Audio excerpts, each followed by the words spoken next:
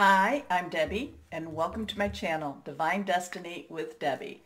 Today we're reading for June 12th, 13th, and 14th, Friday, Saturday, and Sunday for my Sagittariuses. Hello, my Sagittarius. How are you?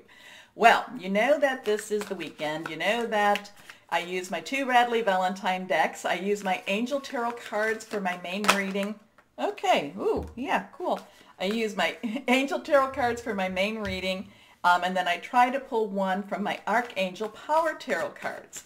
I've prayed, meditated, and infused both decks with Reiki energy, but remember, this is a general reading. It may or may not resonate. Take what you like, leave the rest, okay? Okay, so one card popped out. It is face up.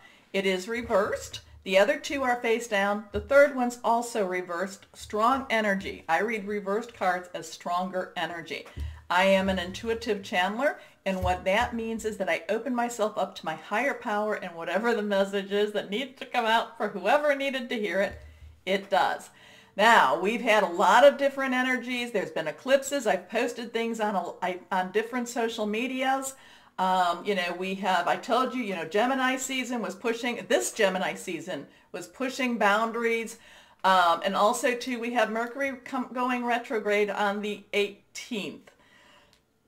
It's all good.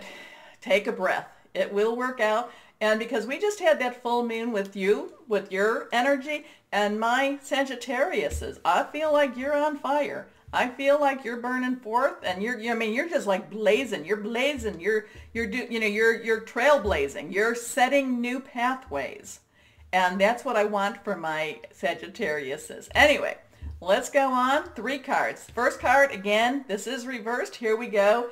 This is Archangel Uriel the Sun. Happy outcomes. This is, you know, again, sun, burning, blazing type of energy. This is things are going to work its way through. Feeling optimistic, feeling confident. Okay? So the energies for you this weekend, if whatever this is that you've been wanting to go for, this weekend with the sun, go for it. Go for it. Okay? Okay. So, happy outcome, brilliant new ideas that lead to success, have confidence in yourself. Next card, face down, here we go. The Empress. Okay, you know, I'm, I'm, and I love the Empress. I love some Empress coming here. Now, Archangel, uh, um, Archangel Gabriel, the divine messenger. The Empress to me is all about abundance, is about receiving your wishes. This is about, you know, and again, we are in the full moon, your moon, to the new moon, which is waning, which is getting rid of things. But for my fire signs, I feel like it's going to be about receiving. And maybe it's because of that Mercury retrograde. Two weeks before, two weeks after, we're kind of in that shadow. So it's kind of like Mercury retrograde light. So, you know, things, things could be kind of slowing down and changing up a little bit. Use that energy. So, lavish abundance, give birth to your dreams, nurture yourself and others. So, you know, I feel like you're having fun this weekend. I feel like, you know, and I don't know, maybe things are opening up more so for you. Um, you know, and this is that time to get your hair done, to get your, you know, your mani-pedis, whether you be male or female. It's time to take care of yourself. It's time to pamper yourself because it's like you're just, you're just like using this energy because, again, trailblazing. Okay, last card reversed. Here we go. The lovers the lovers. Now, I will tell you, this did come up um, in Leo also. Um, uh, but you have, Leo did not get three Archangel energy cards, major arcana cards, okay? But this energy is healing. This energy is, you know, promoting wellness, promoting emotional, physical, spiritual, any type of, you know, what you want, you know, healing. But the lovers is also about attraction.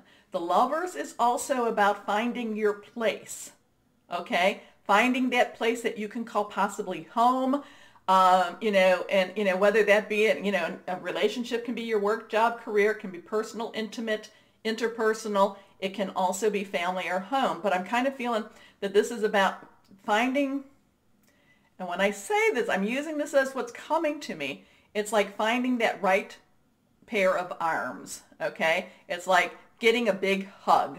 It's like being, you know, it's being held. I feel like this, there's like this, like this big hug from the universe coming. Okay? Okay.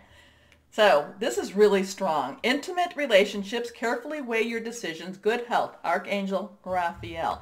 So, I mean, you have these three, you have these real three very strong, very positive Archangel energy cards. And again, it's like the universe wants to give you a big hug. You know, we'll probably use that one if I can, you know, remember it. Anyway, let's say, let's go on. One last card. And you know what? I think, you, you know, you're more than ready for that. You are more than ready for that.